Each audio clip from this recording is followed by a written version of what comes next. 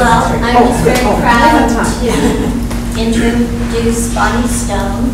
She has spent a good 50 years creating art, is that my correct? Oh, yes. Extensively. More than that. She has an I'm gonna be seventy-four. I think you started, your exhibition started around the time I was in high school, so that gives you an idea.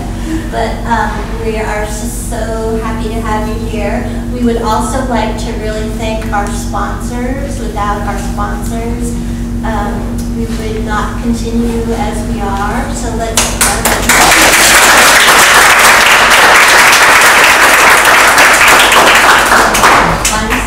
Thank you.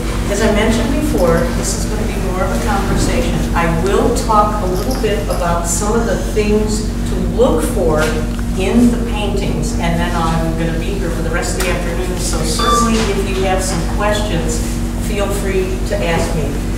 Um, I was born in Chicago, 1939. Um, Grew up in a middle-class Jewish family. Uh, I went to religious school, but Hebrew school was not offered as an option. And the re- reason I mention this is because then later on, I began to be so fascinated with the shapes of Hebrew letters, which you will see appearing in many of my compositions.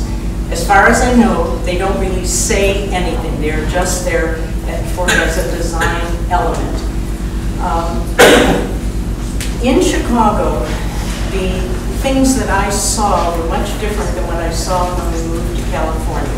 There's a huge African American population. Uh, we had a lady who would come to clean uh, my parents' apartment. I can remember I never even knew what her last name was. I knew nothing about her life. It was sort of like an episode from the story The Help. But the images of seeing this group of people stayed with me for a long, long time and came out over the years that I was doing my work. Uh, It wasn't until we moved to the West Coast that I was able to be exposed to any great length to people of Asian cultures. Now, the title of this program was uh, Tapestries of Her Life. And before I go any further, I want to introduce a couple of the people who are part of the warp and the weft of my tapestry. My husband is standing in the back, leading. We will be married 52 years uh, in a few weeks, and I can tell you quite honestly, you wouldn't see any of this if it was not for him and the way he has respected my space and allowed me to work. Our, the only one of our three children who's here is our oldest daughter, Barry, and she too grew up with a mom who was in her studio. Uh, There are several friends from almost 50 years, Ann and Don Rothblatt, whom I've known for so many years, and Natalie Schreiber and Gary Daniel also have been a part of my life for a long, long time. And uh, these are the people who have been part of the support system that, that I have used all these years. Now, we lived in, Chicago when Barry was a year old, and we moved to Fort Riley, Kansas. And uh, this was the time, uh, Vietnam War was kind of just getting started. It was the home of the Big Red One. And I can tell you, from a middle-class Jewish girl growing up in Chicago, to arrive at an army base and see tanks and military equipment was really an eye-opener. And I was very, very interested in, along with several close friends, with protest movements, uh, things that had to do with the war. And at that time, if you remember, that would have been in the 60s, all of a sudden, everybody was wearing T-shirts that had flag insignias, and people were burning flags. It was things, the costumes that people were wearing were beginning to change. And I became fascinated with the American couple. So I brought in a few of the early American couple pieces to share with you.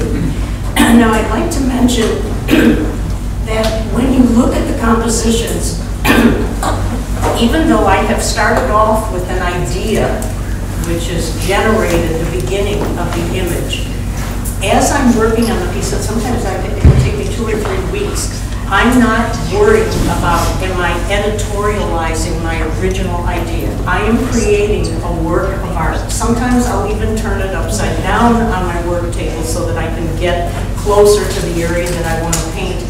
So um, I'm not that interested in whether it's saying exactly what my little scribble was in the beginning. Now, I mentioned before the African-American image was there, very in, in the American Couple series.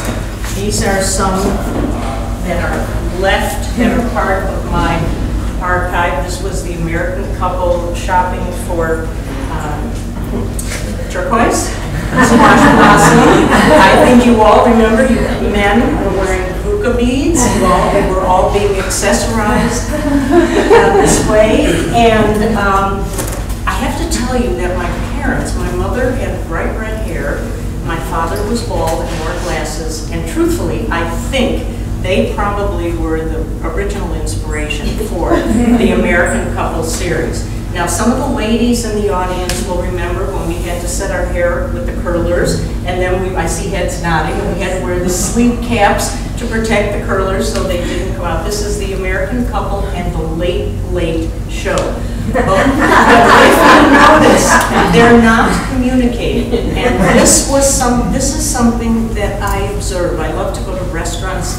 Uh, today, it's a whole different story. You'll see two people sitting across the table, and yes, they're doing, they each have a phone, and they're not even talking to one another. Well, these things were done in days when nobody had these things, but they still were not communicating.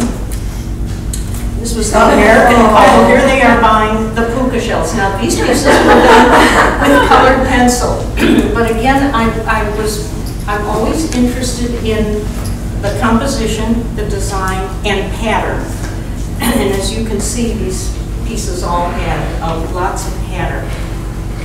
Then people started to say to me, you know, your work has some of the things with the patterns that makes me think of Japanese images. And as an undergraduate at the University of Illinois, we were not exposed to Japanese prints.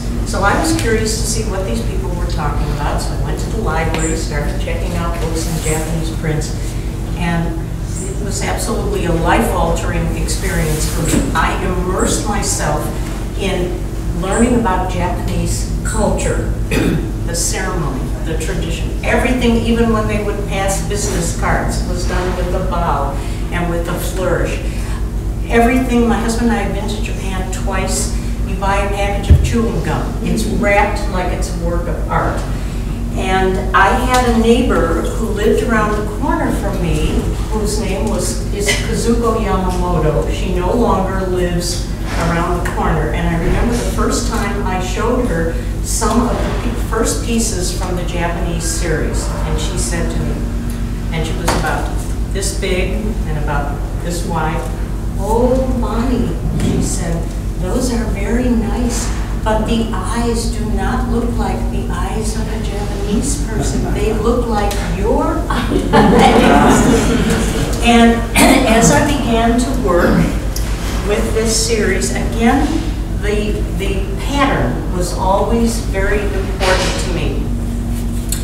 I had a show at Palo Alto, what was then called Palo Alto Cultural Center. People came and they said, where's the American couple? and I said, well, I have taken them out from the quilts and because this was our responsibility to bring this into the home and to pass it on to the next generation. And the reason I'm bringing this up is because now when you get a chance to walk around and see the show, you're going to see these same women now in a whole different light. Now, one of the things that I was fascinated with was the fact that the Japanese culture had scrolls, as did the Jewish culture.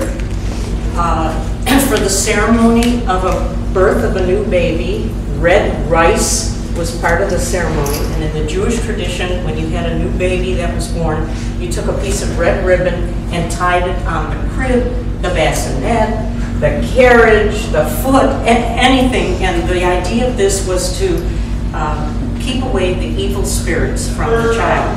Now that red ribbon image, you will see over and over again as you walk through the show. I'm not trying to keep away the evil spirits. I can tell you at this point, it has become more of a design element to lead your eye around the composition. So there's no specific hidden meaning in that shape. so that series developed and it was called OY, O-Y, which is a Jewish expression, Oy, comma, butterfly, where I brought together the people from the Judaica series and the people from the um, Japanese series.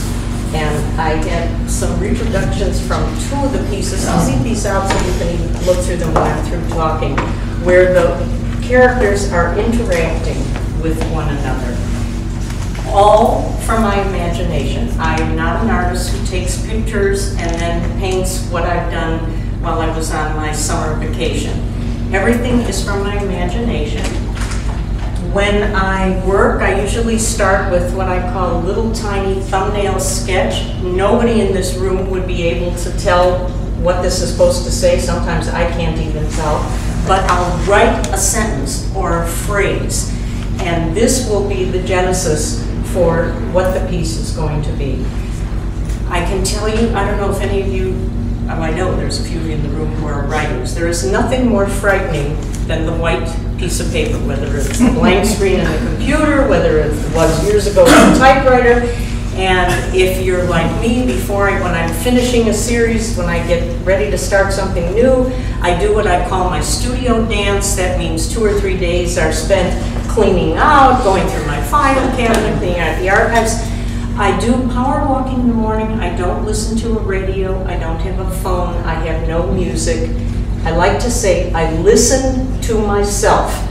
And I always have a little bag I carry, pencil and paper, and sometimes it'll be nothing more than seeing a fantastic yellow leaf laying on the ground. And I'll just write myself a little note yellow leaf on the ground. Sometimes I'll observe something interesting with other people who are walking and it'll just tickle my funny bone and I'll think, okay, they somehow will work, work into the composition. Now you'll notice in several of the pieces, the characters are on tightropes, but the tightropes are not connected. You won't see big supporting stands at the end. And I like to think of that tight tightrope as the symbol, the metaphor for each of our lives. We never know where the next step is going to take us. Hopefully it'll be in a safe harbor, but we don't know what's going to be around the corner. Sometimes I'll have two characters meeting one another on the tightrope, and it's obvious that they're not going to be able, somebody is going to have to give in they're not going to be able to continue on their journey.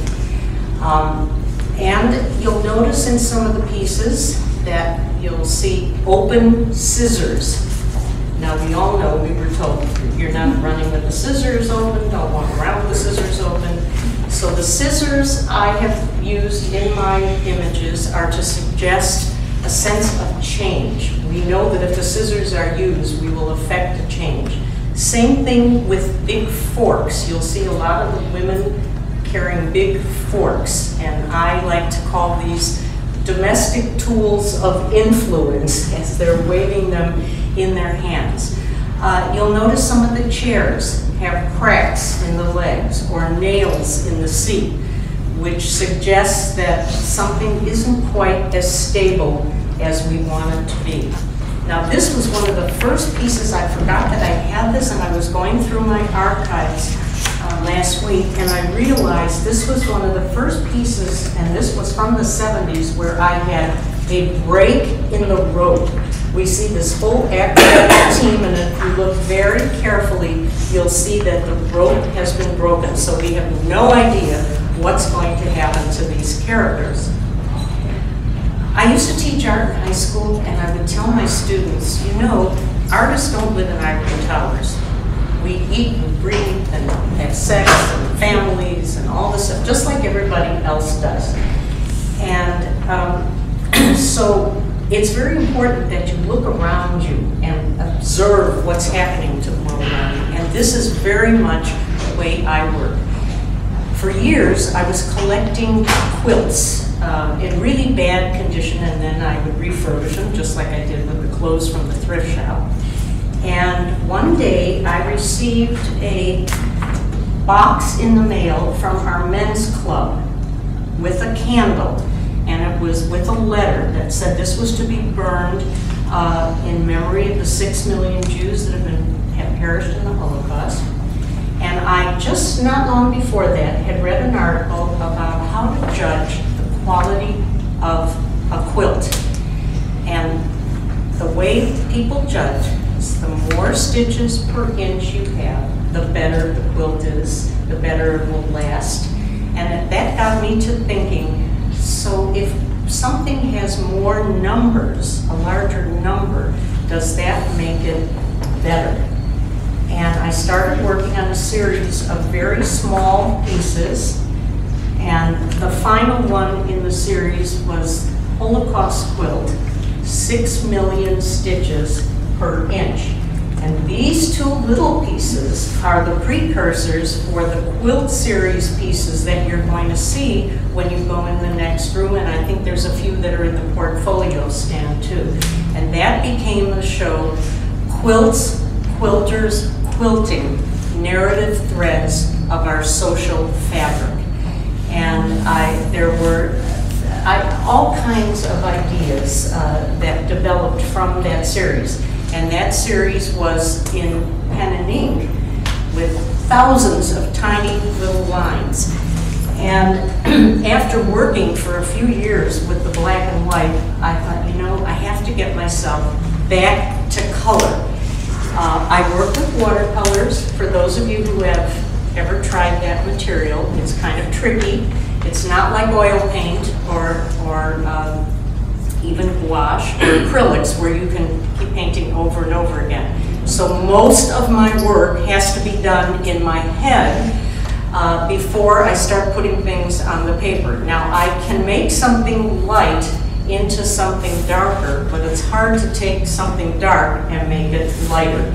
Also, for those of you who have taken watercolor classes where you take the paper down on the board and you get everything wet and stretch the paper and you got water splashed all over it, I don't work that way. I have a little tiny handheld hair dryer that's next to my table and if I'm working and trying to paint two fields of color, one on top of the other, one next to each other. I have to make sure that the first one is dry before I put the color for the second one so that I can keep the color isolated. And now I'm going to guess that everybody in this room is probably going to ask me, tell me about the overhead view. Where did that come from? This is a view that most of us don't see, and we don't see ourselves this way. Now, if I was to do a picture of this group right in front of me, a sketch, and then make it into a painting, it would be interesting and I could have fun with it. But if I was able to take myself onto the light fixture and look down on all of you, and I see legs crossed, I see the tops of heads, I see bodies turning this way, it to me much more interesting than just having the horizon line in the background. Sometimes we'll be looking up from underneath at the characters. And I will tell you, I'm going to be 74 in a few weeks. When I turned 70, a friend called me and she said, well, what is it like to be 70? She's a couple of weeks younger than I am. And I said, well, you know, all the years I would travel, I used to make sure I had this big magnifying mirror so I could get really close when I put on my makeup. I said, now this is going to be my new mantra.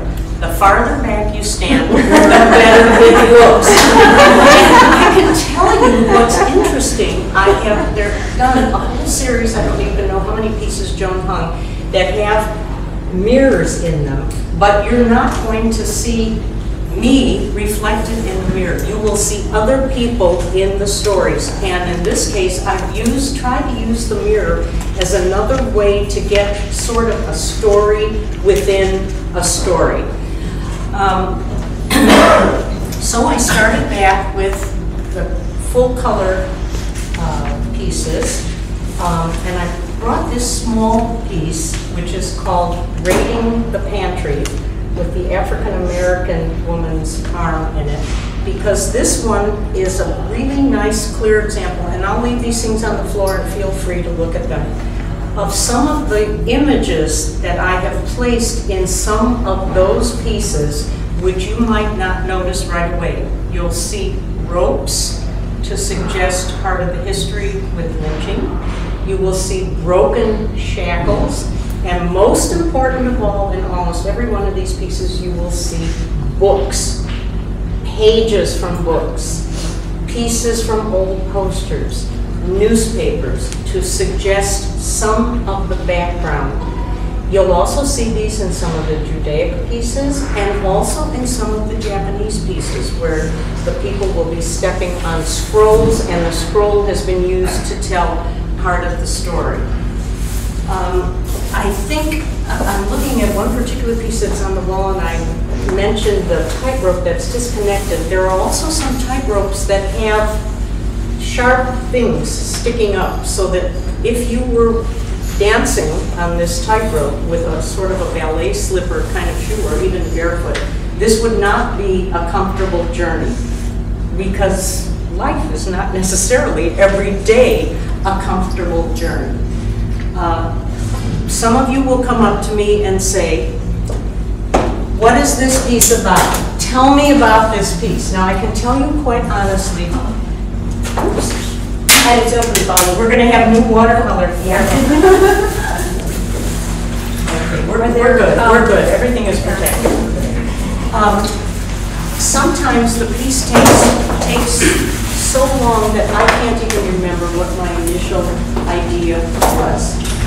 And um, I don't, I'm not always ready to share it with my audience, so I prefer that each of you bring your own observations and memories and feelings about the subject matter to, to the piece. Sometimes what I think is funny may not be funny to you. Sometimes what I think is serious may not be serious to you. Oh, no, that's fine, thank you.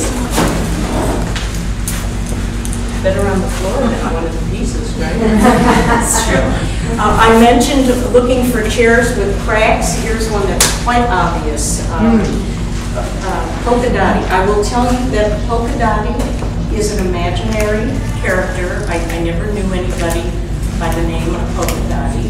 And Miss Minnie is also an imaginary character. It just, I just love those names. And these two women have appeared in pieces for the past several years. Um, I, this one, um, the three Balabostas on a, on a uh, Zen, a tour in a Zen garden. Uh, In Yiddish, a Balabosta is a woman who's good at everything. She's a fab- fabulous cook, and she keeps the best, her house is immaculate, and she just does everything right. And these three women have gone on a tour, and they're in Japan, they're in the Zen garden. But if you look carefully, you'll see they can't, they have not been able to leave behind what's important to them that makes them a, a, a. And if you've ever traveled, if you've been on cruises, you've been on trips, and you start talking to people, everybody wants you to know what they are and what they do and what they've done with their lives. Uh, it's, we all tuck this in our pocket when we pack our bags, and we're off